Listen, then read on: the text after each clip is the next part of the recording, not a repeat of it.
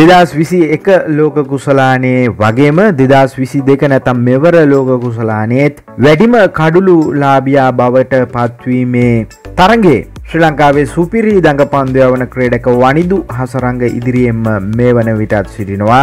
තරඟ තිස්තුනක් සමස්ත තරඟ සංඛ්‍යාවෙන් අවසන් නොවැම්බර් පලවෙනිදා වන විට ඒ වන විටත් වනිදු හසරංගාංක එක බවට පත්වී සිටිනවා. විශේෂයෙන්ම ඕස්ට්‍රේලියයානු තරගේදී කිසිදු කඩුල්ලක් ලැබුණේත් නැහැ.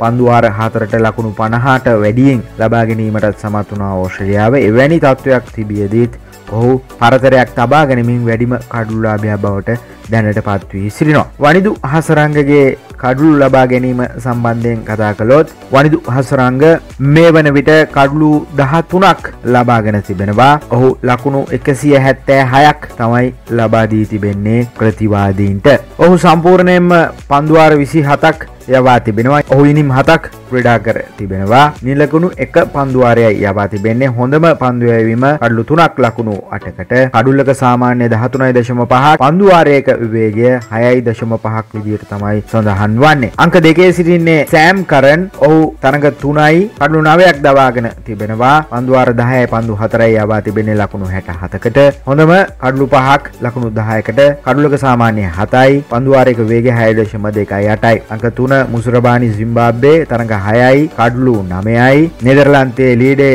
තරඟ හයයි කඩලු නමයයි රාසා තරඟ හයයි කඩලු නමයයි මහේස් තීක්ෂණ සිටිනවා මෙම ලයිස්තුවේ. කඩලු නමය බැගින් ලබාගත්ත පස් දෙනෙක් සිටිනවා වනිදු හසරංගට පසුව. ඉතින් අංක දෙක විදිහට තමයි ගන්නට වන්නේ. අනෙකුත් කාරණා මත ශ්‍රේණිගත කිරීම් කළොත් අංක හයේ සිටින්නේ මහිස්තීක්ෂණ කොමුණත් කඩ්ලු සංඛ්‍යාව සමාන ක්‍රඩකයන් ගොඩක් සිටින නිසා එක අංක දෙක විදිහටත් ගන්නට පුළුවන් මේ ලයිස්තුවල ඒ ආකාරය තිබෙනවා. පිතිකරන අංශයෙන් ගත්තහම අංකයකේ සිටින්නේ කුසල් මෙන්ඩිස්. තරඟ හතයි ලකුණු දෙසිය පහයි වැඩිම ලකුණු හැත්තෑ නමේ අර්ධශතක දෙකක් සාමාන්‍ය තිස් හතරයි වේගේ එකසි හතඩිස් හතරයි අය පහරවල් නමයයි හතරේ පහර පහරවල් දාසයක් එල්ල කර තිබෙනවා. ඔහු ඉතින් හය පහර ගත්තත් මේ තරඟාවලිය වැඩිම හය පහරව සංඛ්‍යාවක් එල්ල කර තිබෙන්නේ කුසල් මින්ඩිස් මේ වන විට. අංක දෙක ටක ලකුණු එකසි අනුව එකයි. අංක තුන නවසිලන්තේ පිලිප්ස් සතකයක් සමගින් ලකුණු එකසි හැත්තෑ අටයි අංක හතර ධනංජය සිල්වා. සිටිනවා ඒ තමයි විශේෂම කාරණය.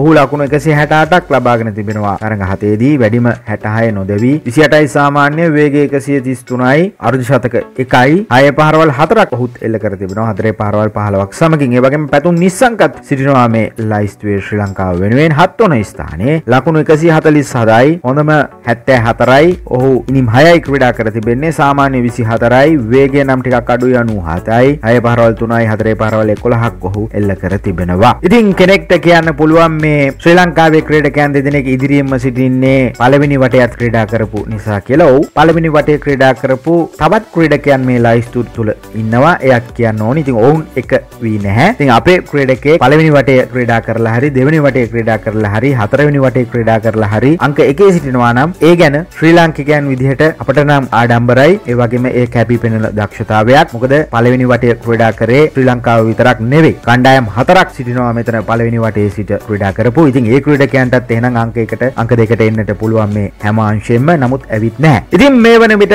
දෙවන වටය අවසන් වීමට ඉතාම ආසන්නයි. දෙවන වටේ තවත් තරඟ නමයක් වගේ ප්‍රමාණයක් තමයි ඉතිරි වී තිබෙන්නේ. සමස්ත තරඟ සංඛ්‍යාව තරඟ 42ක්. එතකොට අවසන් පූර්ව තරඟ දෙකයි අවසන් මහා තරඟයයි. ඉතින් එක් කණ්ඩායමකට හරියකට බැලුවොත් නොවැම්බර් පළවෙනිදා අවසන් වන විට පළවෙනි කාණ්ඩේ නම් ඉතිරිව තිබෙන්නේ අවසන් මහා තරඟයත් ක්‍රීඩා කරොත් එහෙම තරඟ තුනක් පමණයි. මොකද තරඟ හතර බැගින් ක්‍රීඩා කර අවසන්. එතකොට එක් තරඟයක් තිබෙනවා සියලුම කණ්ඩායම් වලට. අනතුරුව එම කාණ්ඩයෙන් අවසන් පූර්ව තරඟයට යනවා කණ්ඩායම් දෙකක්. ඉතින් අනතුරු අවසන් මහා තරඟයට යනවා. ඉතින් අවසන් මහා තරගයටත් යන කණ්ඩායමට තවත් තරඟ තුනක් පමණයි ඉතිරිව තිබෙන්නේ ලෝක කුසලානේ ජයග්‍රහණය කරනවා නම් මෙවර ලෝක කුසලාන තරඟාවලිය චැනල් එක සබස්ක්‍රයිබ් කරන්න සීනුව ඔබලා වැඩසටහන් ආපු ගමන්ම දැනගන්න